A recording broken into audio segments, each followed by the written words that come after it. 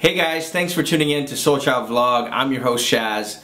Um, today I want to talk about something that's quite dear to me, and it's, it's the word peace. And peace is always sort of, um, you know, uh, uh, it's a very lofty word. You know, like, you know, you see, you see um, worldly figures, you know, religious fig figures. They they all use the word peace quite constantly. Um, for me, I didn't really sort of understand what it meant uh, uh, until I was on this path, probably say about seven, eight, nine years now. Um, and peace that I want to discuss is a little bit more closer. It's not peace, you know, in you know, as they say, peace in the Middle East or peace somewhere or something or some way. It's actually peace within. And the reason why I'm talking about this is because this is part of the global community that we want to create. And we want to create a community of peaceful people and but it's not really peaceful in the way of something that is outward. It's peaceful in the way that is inward. Okay? It's a big difference between peace outwardly and peace inwardly.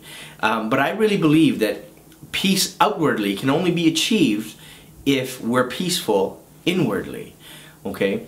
And this aspect of you know inner peace if you will is very elusive. You know it's hard for people to sort of uh, get a hold of it and, and grasp it and most of it is related to our you know and this is again it's, it's my opinion but it's related to our um, insatiable need to consume okay? Um, how it works is that we usually we're you know as human beings we're looking for things like um, things to give us contentment okay? So you know as, as a uh, uh, as a child all the way to teenage years to your adulthood um, we're, we're starting to learn uh, about acquiring things that can bring us or uh, give us a sense of happiness or contentment, hence peace. Okay, so when we say the word peace, it's associated with the word contentment, it's associated with the word uh, uh tranquility, you know, this kind of settle our hearts down kind of deal, okay? So most people, without being aware, are looking at something to get or to achieve, like a position or or or uh, something material, in order for them to uh, feel this sense of peace. You know, it's this feeling of, oh, if I get this car, it'll make me feel good, and then I will feel at peace. Okay, if I purchase this house, then I will feel good, and I will be at peace. If I get, um, if I uh, finish my degree, I will find, you know, and if I get this position or promotion, um, if, uh, you know, uh, a couple who wants to have children, for example, if we have kids, we will find peace. Or somebody who's single and wants to be married, uh, uh, uh, if, if I do that, I will find peace.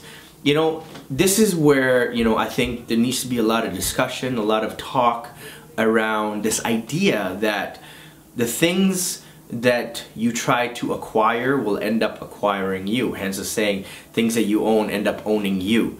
And, and you know, the, the meaning of it is that, you know, the things that you, you, you chase so, you know, uh, uh, so hard to get, once you have it, you know, it usually, you know, kind of dissipates that feeling that that sense of euphoria or or the novelty of acquiring that thing that you wanted so badly wears off. You know if you get a car after a while you want a newer car. You get a house after a while you want a bigger house. You get that position and then you look at the next position you know so on and so forth. So you know the elusive aspect of achieving inner peace is not something that you can ever gain outwardly okay? It's something that that you know and it shouldn't be uh, uh, you know acquiring this level of peace should not be left to you know the gurus or the the the, the leaders of, of you know mysticism and and you know we can achieve it daily you know? Um, based you know on my own understanding and my teaching uh, from my teacher that have taught me um, it is only through the remembrance of God. And again to remind you that I'm talking about the same God you're talking about whoever it is for you. Um, for me it is the remembrance of God is where it's where it begins because God is everlasting. God does not uh, change. God is one. God is is um, the omnipotent omnipresent omniscient uh, uh, uh beholder of of all that is. So this is where you know if you're hanging on to that thing that you want, that thing will move. Okay, if you're leaning up against the wall, that wall will move. If you're, you know, wanting that thing uh, to make you feel better, um, it will move. Okay, um, if you're counting on certain people, you know, they change, they get old, they whatever it may be. Um, so things are constantly changing. And so whatever you place your hopes, whatever you place your sanity, whatever you place your sense of contentment and peace on will always, always, you know, with certainty change, um, except for God. You know, if you we if we hang on to God, and like I said, it's whoever God is for you.